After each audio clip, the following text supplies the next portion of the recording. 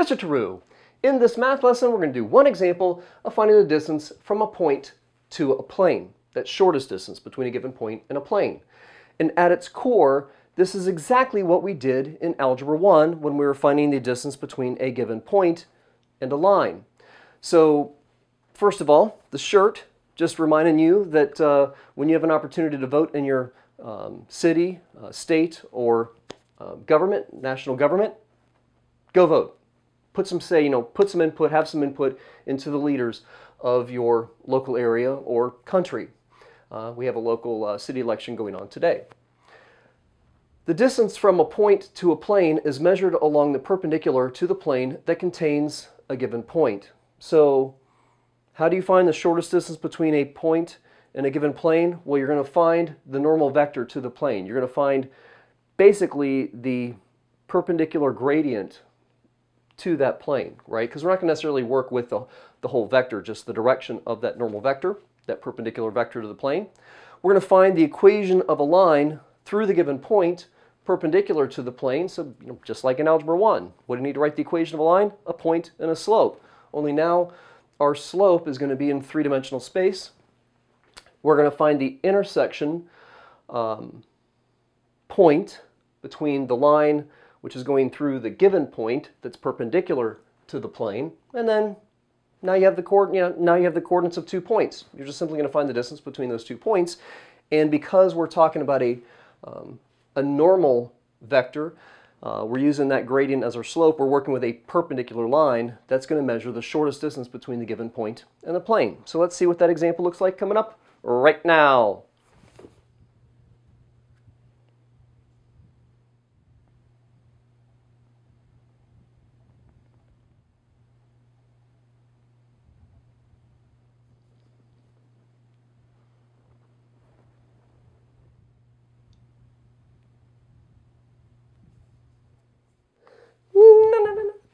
So for our example, we're going to find the distance from the point 3, negative 1, 2 to the plane negative 5x plus 3y minus 4z is equal to negative 1. And this, this example is going to go fairly quickly because we are, I'm giving you the equation of this plane in Cartesian format, which means that we can remember one more time. I would show this on almost all of my videos involving this topic. We have vector r, position vector of any general point on the plane times the dot product of our normal vector is equal to vector A, uh, position vector for a known point on the plane, dotted with vector n. That's what's creating this constant of negative 1. And that allows us here to look and see that our normal vector is equal to negative 5, or has the direction of, negative 5, 3, and negative 4. Now, if the equation of your plane is given to you in this vector format, vector uh, r is equal to vector a, position vector for a known point, plus uh, vector u times some scalar multiple, plus vector v times, times some scalar multiple. Well, these are two non-collinear uh, vectors which are parallel to your plane, basically acting as a um, two-space gradient. And you would have to find the cross product, of course, between vector u and vector v to find the normal vector uh, to this plane. But we're being kind of nice here. The equation of the plane is given to us in Cartesian format, which allows us to pull that right out. Now, the vector form for the equation of a line is that vector r is equal to vector a, a known point on the plane, excuse me, known point on the line, position vector, plus some vector u times the scalar multiple, which I'm going to call lambda, because we're talking about lines. Lambda starts with an L. Eh, that's the only reason. So here we have the equation of a line which is going to go through this point but perpendicular to the plane. We're going to say that this is equal to position vector for a point on the line, 3, negative 1, 2, plus. Now, the normal vector, this is perpendicular to the plane, but that's what we want, the shortest distance between the point and the plane. So we want to use that perpendicular slope, basically, perpendicular to the plane. So the direction of the line, the slope of the line, basically, is negative 5 3, negative 4. Now what we need to do is, like we talked about in the last video, where is this line intersecting this plane? Well, we want to basically substitute some equations from this line into the equation of this plane in the simplest uh, manner, which is going to allow us to find the intersection point. And that means that if we write, uh, convert this equation of our line that's in vector form into parametric form, where we have x in terms of lambda, lambda, y in terms of lambda, z in terms of lambda, lambda, we can plug those expressions for x, y, and z and basically find lambda, basically find out, you know, how far from this point on the line do we need to move before we get a lambda that satisfies the equation for the plane. So that's basically how far do we have to move. Uh, we won't know the answer until we get to the, you know, we'll have like a scalar multiple for this gradient, but it'll give us an idea of how far away from this known point do we need to move um, to uh, get a point that's on this, that's within this line, that's also in this plane.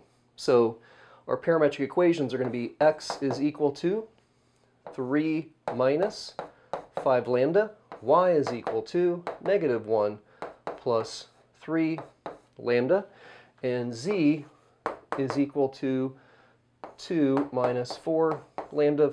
The coordinates, uh, you know, out of this vector form, where's the x, y, and z coming from? That's basically the component form of the coordinate that vector r is describing, the position vector for any general point that's on the plane. Now we can take uh, and this system of parametric equations and plug it into our equation of our plane and find that lambda such that the left-hand side is equal to the right-hand side. So we have negative 5 times our substitution for x is going to be 3 minus 5 lambda plus 3 times y, which is going to be the expression represented by the expression negative 1 plus 3 lambda, minus 4 times our expression for z, which is 2 minus 4 lambda. We're going to set that equal to and solve it for 1. So that's going to give us with the distributive property negative 15 plus 25 lambda minus 3 plus 9 lambda minus 8 plus 16 lambda is equal to negative 1. We've got 25, 34, 44, and 50 lambda. We've got negative 15, negative 18, negative 25, no, negative 26. We're then going to add both sides by 26, which is equal to 25. And after we divide by 5, we see that lambda is equal to 1 half. So the point of intersection, therefore, is going to be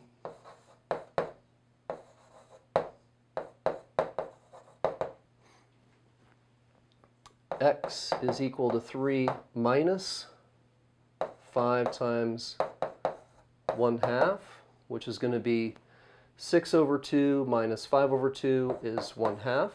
We have y is equal to negative 1 plus 3 times 1 half. So we're looking at negative 2 over 2 plus 3 over 2 is also 1 half. And then we've got z is 2 minus 4 times 1 half, which is 2 minus 2, which is 0. So the coordinate of our point is going to be equal to 1 half, 1 half, and 0. And just to make sure that I'm not making some kind of mistake here, okay, excellent. matching my notes. So, we're almost done. We have the, I might even be able to fit this all up on the board without having to erase anything. We've got a point, we've got a point of intersection where we're looking at that perpendicular distance between uh, this given point P and the point on the plane, and we just have to find the distance. And maybe I'm not going to be able to get this to fit. So let's erase this.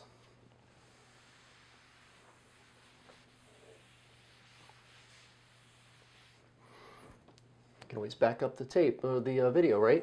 Distance is equal to, back up the tape, that's funny. Uh, the difference between the x coordinates. So we're looking at 3 minus 1 half squared. So the difference in the x coordinates, the difference in the y coordinates now, negative 1 minus also 1 half squared plus the difference in the z coordinates, 2 minus 0. Now we just have a little bit of cleaning up to do here. We have um, 6 over 2 minus 1 half is 5 over 2.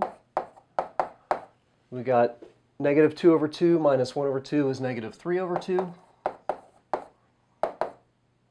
plus 2 squared. So we're looking at the square root of 25 over 4. Remember all your proper notation there. Uh, we got 9 over 2, so plus 9 over, okay, let's try that again. Negative 3 squared is 9, and 2 squared is 4. And now this is 4 over 1, so we're going to multiply the top and bottom by 4. And we are looking at your distance is equal to the square root of 25 and 9 is 34. Now this is 16, so 34 plus 10 is 44, and 6 makes 50 over our common denominator of 4. We've got that that is equal to the square root of 4 is of course 2, and 50 was reducible. That's square root of 25 times 2, so we're looking at 5 square root of 2 units. And double check, 5 square root of 2 over 2 units. There you go. So we have an example of how to find the distance between a point and a plane. I'm Mr. Tarrou. Bam! Go do your homework.